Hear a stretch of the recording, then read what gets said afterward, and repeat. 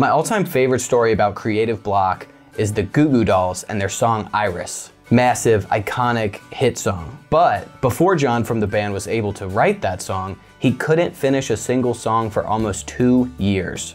He said in an interview, the ironic thing about writer's block is that you write the whole time. You just think everything sucks. Then the producers from the movie City of Angels come to him and they say, John, we want you to write us a song for the soundtrack. Now, John is scared to death. This writer's block could literally be the end of his entire career. But he flies out, he goes to a screening of the movie, he goes back to his hotel, picks up his guitar, and in less than two hours, he's completely finished Iris. The takeaway is you never stop creating because you don't know when that once in a lifetime inspiration will strike.